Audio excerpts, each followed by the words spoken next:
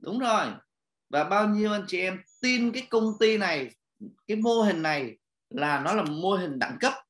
Comment số 2 ạ. À. tin vào công ty. Ok. Đến thời điểm này, bao nhiêu anh chị em là thấy rằng là cái sự chọn lựa của mình mình tin vào chính mình có thể thành công được ở đây. Comment số 3 như vậy các bạn đã có cái niềm tin vào sản phẩm, niềm tin vào công ty à? Và niềm tin vào chính mình là, vậy thì cái việc còn lại của mình là mình phải cho phép mình phát triển nội lực tự thân và phát triển ngoại lực. Hay là cho phép mình dành thời gian để mình nén, lò xo nén càng mạnh, nén nén rượu nén mạnh ngọn nó bật bằng anh chị em thấy không ạ? Cái lò xo nén càng mạnh thì độ bật nó càng cao lò xo nén càng mạnh thì độ bật nó càng cao. Cho nên là tại sao mà khi tôi quyết định cái sứ mệnh cuộc đời của mình là dành để stop education của mình trở thành một cái doanh nghiệp để đời?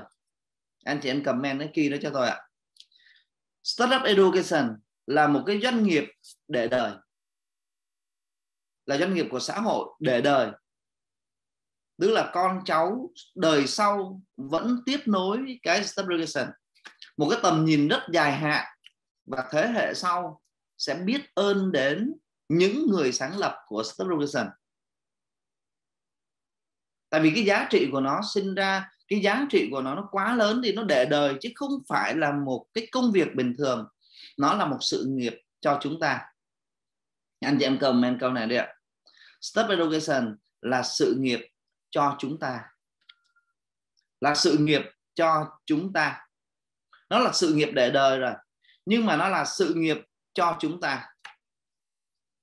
Có một số bạn ờ, có phát biểu kêu là um, xây dựng cái này ờ, là của thầy Thái. Không. Subrogation bản thân nó là tôi tôi thiết lập ra nó là doanh nghiệp của xã hội. Một doanh nghiệp kiểu mới. Một doanh nghiệp siêu tinh, siêu gọn siêu nhẹ, siêu trí tuệ và là doanh nghiệp của xã hội. Một doanh nghiệp của xã hội nó cần một vài cái tiêu chí sau đây. Thứ nhất, nó tạo ra giá trị lớn cho xã hội. Thứ hai, nó giải quyết được rất nhiều vấn đề cho xã hội. Và thứ ba, nó phải là sở hữu của cộng đồng. Ba cái tiêu chí của doanh nghiệp xã hội.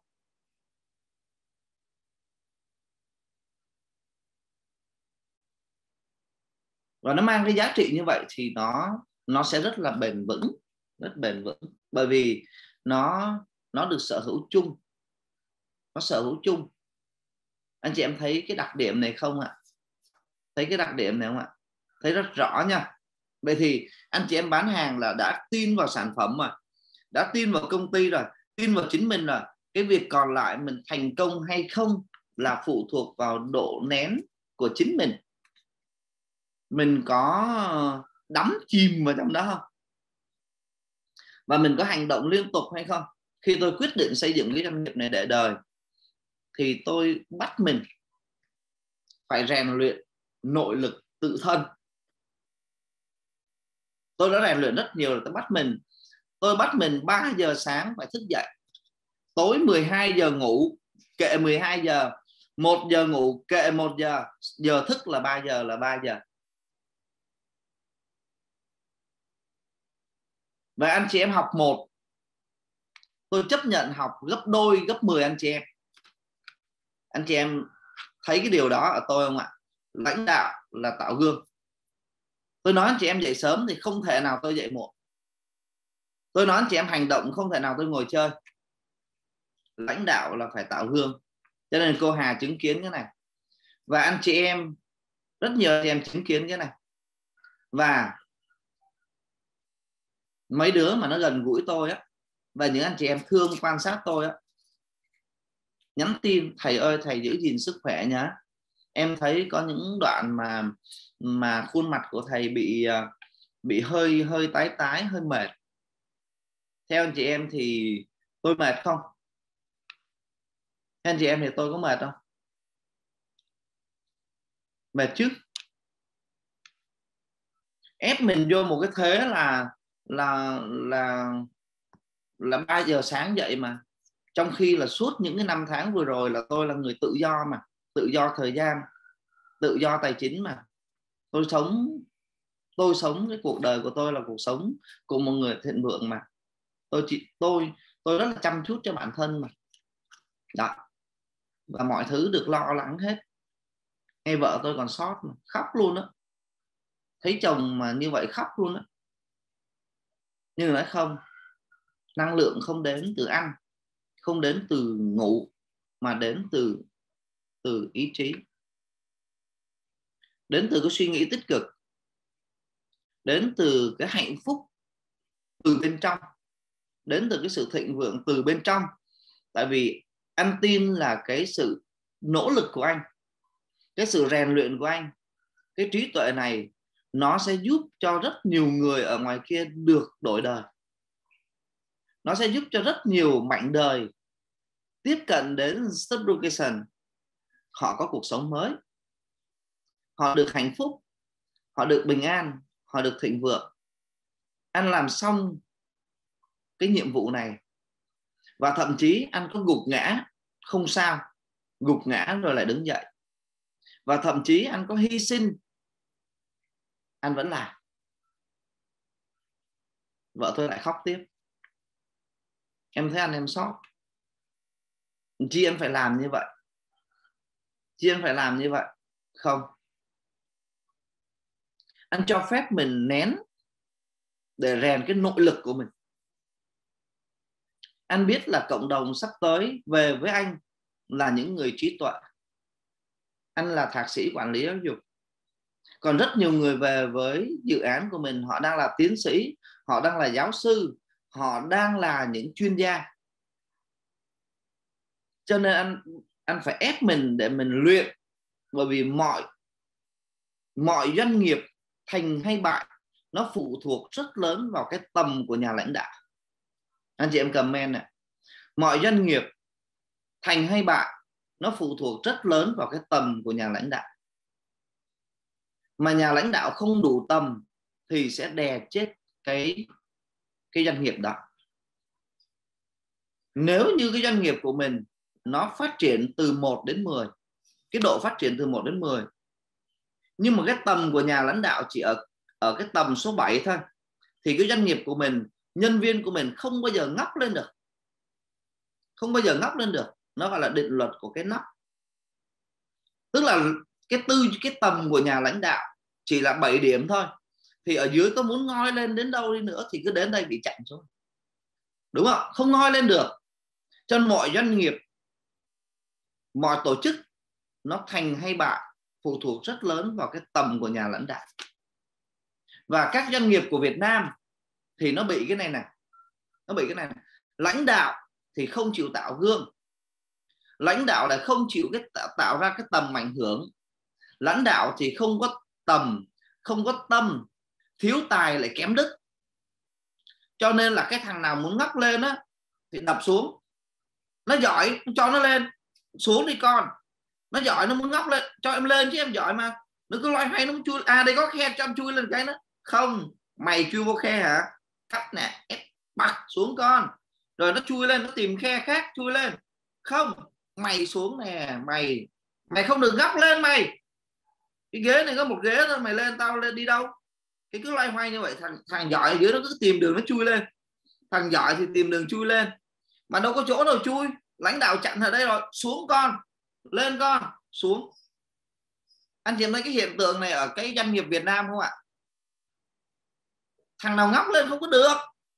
Bởi vì lãnh đạo có học đâu, có tầm đâu, có tâm đâu, có tài đâu, có đức đâu mà thầy mấy thằng có đức ngóc lên, đập xuống.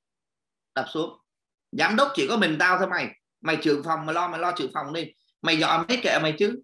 Tao phải có tiền để tao lên giám đốc mà. Không, em giỏi mà. Rồi đập xuống. Không ngóc lên được. Không ngóc lên được. Thế mới khổ. Cho nên là biến động một chút xíu thôi, covid xuống một phát. Một loạt doanh nghiệp sập bởi vì lãnh đạo. Lãnh đạo phải có tâm, có tầm, có tài và có đức thì doanh nghiệp nó mới sống được. Và bây giờ kiếm cái lãnh đạo kiểu đó trong doanh nghiệp hiếm như như hiếm, nó hiếm như nhân sâm luôn nó kiếm không ra luôn. Thì nó phá sản là bình thường đó. đúng không ạ? Nên là anh em mình để trở thành một nhà đào tạo tâm sáng thì phải giáo dục xuyên qua tim. Mình phải là một người chia sẻ bằng trái tim, là một người thầy có trái tim hồng.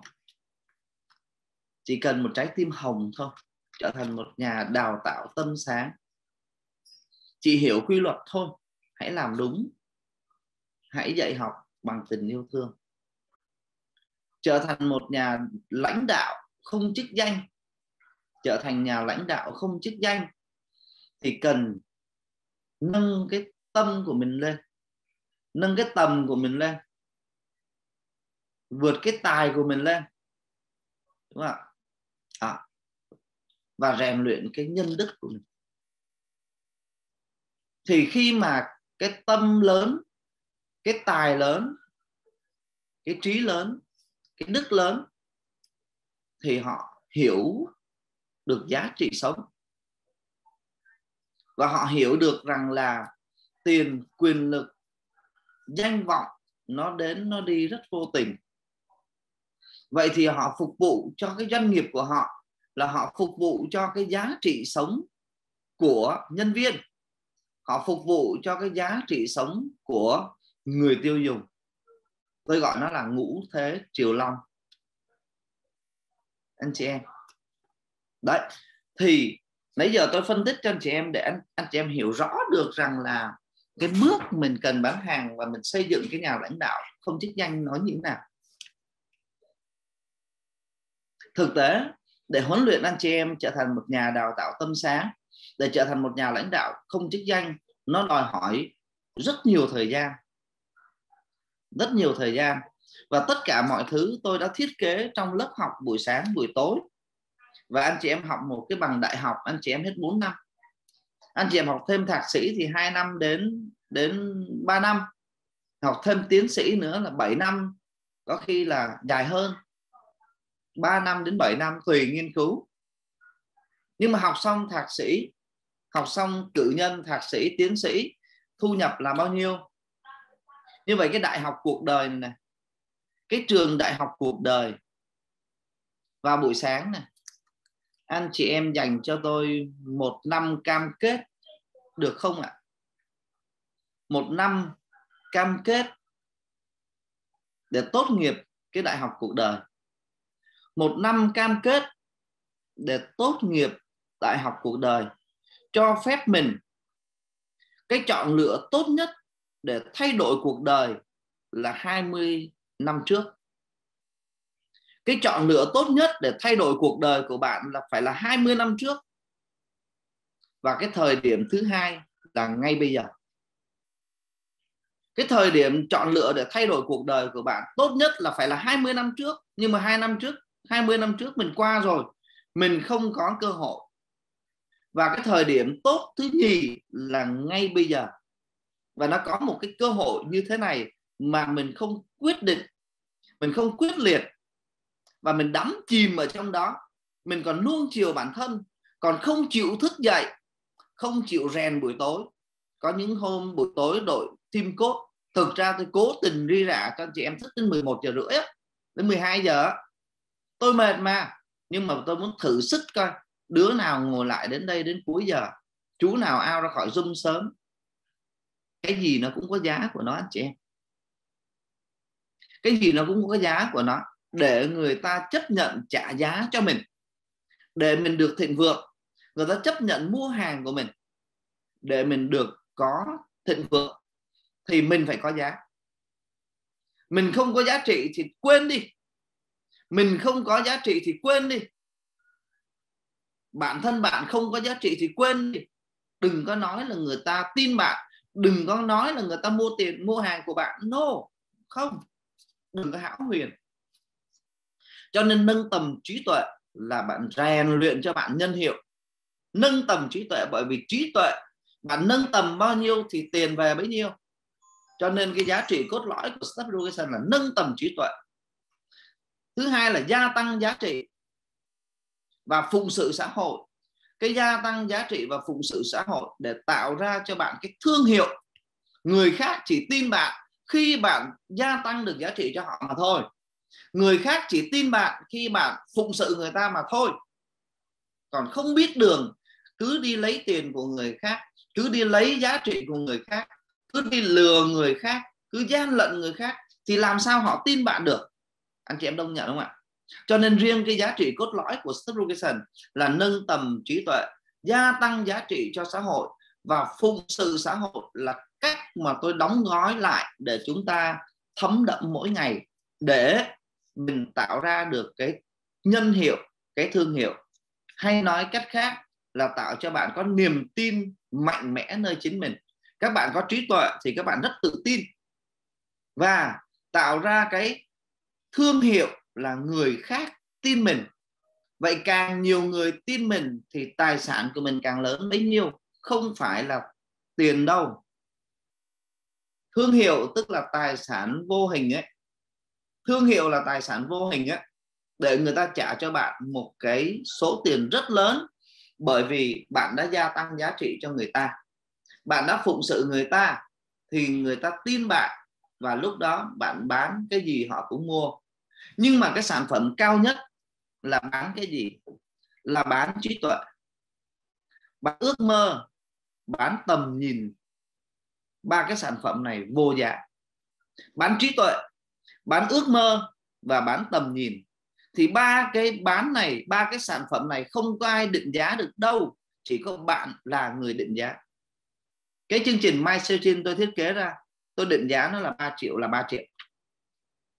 Tôi muốn ngày mai 5 triệu thì nó là 5 triệu. Cấm cãi tôi muốn nó là 20 triệu thì nó là 20 triệu bởi vì cái giá trị của nó là vô giá mà. Nó là nó là cái sản phẩm trí tuệ. Nó là cái sản phẩm để người ta thấy được ước mơ cuộc đời của mình.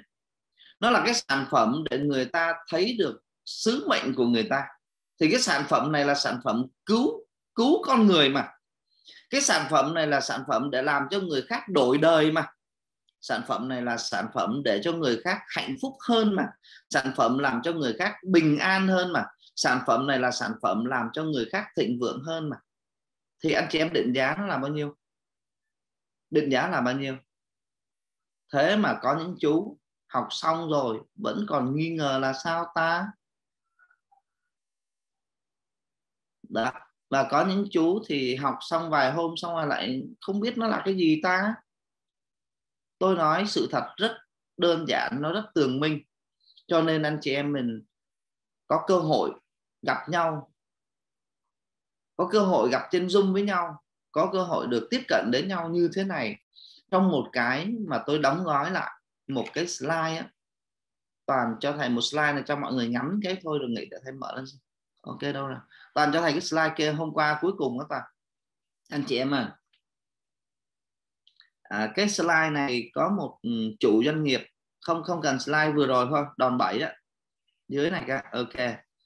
Khi mà tôi uh, phân tích cho một tập chủ tịch tập đoàn về cái slide này và tôi có chứng minh thì ông ấy nói là cái tài sản này nó định giá định giá hàng trăm trăm triệu đô. Xong ông nói không phải nếu như 10 năm sau thì cái sản cái cái cái cái cái, cái slide này nó định giá một tỷ đô. Nha định giá một tỷ đô. Và nó tỷ lệ thuận với thời gian. Anh chị em chụp hình này lại chiêm ngắm nó. Tôi sẽ phân tích rất kỹ từng bước từng bước một. Rồi ok rồi xong rồi ta ơi. Đó chụp cái này lại nhá. Ừ. đấy. Và tại sao tôi cứ phải nói nhiều? Tại sao tôi cứ phải ri rả phân tích? Tôi phân tích nhiều lần như vậy anh chị em mới ngộ ra từng bước, đúng không ạ? Mới thấy càng ngày nó càng rõ hơn, đúng không ạ? Giống như cô Hà đi bao nhiêu ngày rồi càng ngày càng rõ hơn. Mỗi ngày một tiết lộ những cái bí mật hơn. Tại vì những cái nền tảng này anh chị em phải được chuẩn bị kiến thức cơ bản rất kỹ lưỡng thì mới thấy được sâu của nó. Bởi vì nó là tài sản vô hình. Nó là tài sản vô hình thì chúng ta phải có trí tuệ, chúng ta mới thấy được. Và chúng ta phải trải nghiệm thực sự mới thấy được giống như ở chỗ cô duyên, rồi chỗ thắm. Trước giờ không tiếp cận đến cái thứ gọi là vô hình.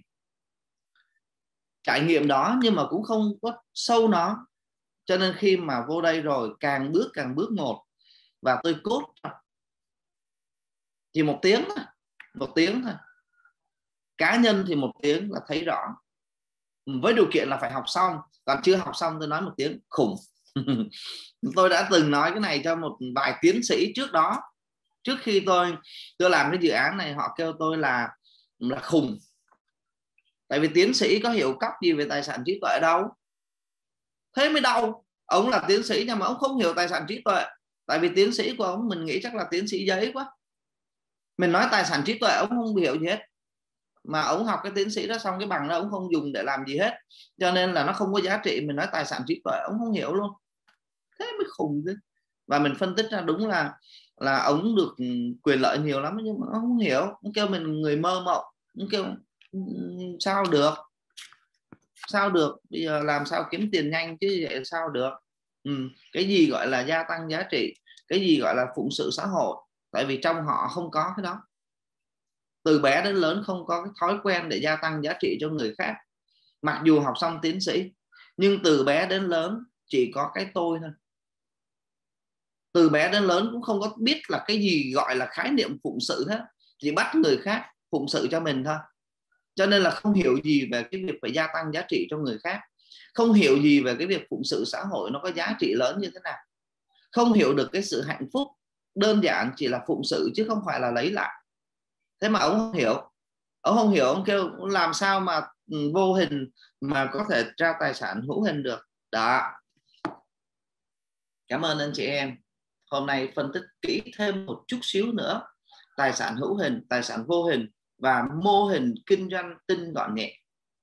Đúng không ạ? Hôm nay tôi phân tích mô hình kinh doanh tinh gọn nhẹ mới được có 5 phần trăm mà. Bao nhiêu anh em hào hứng muốn nghe tiếp từng đoạn phía sau để mình thấy rằng à đây là kho báu. Ông thái, ông nói nè. Kho báu đã có chỗ. Bản đồ có rồi vậy nhiệm vụ của bạn là phải làm gì? Phải đọc hiểu bản đồ. Đúng không ạ nhiệm vụ của bạn phải đọc hiểu bản đồ. Đọc hiểu bản đồ xong có con đường rồi thì nhiệm vụ thứ hai phải rèn luyện nội công để đi dọc đường đi kiếm bản đồ đó. Có những cái cung tên lạc loài đúng không? Có những cái đối thủ uh, nó luyện công cao hơn đúng không? Bích huyết kiếm hãy luyện đi đúng không?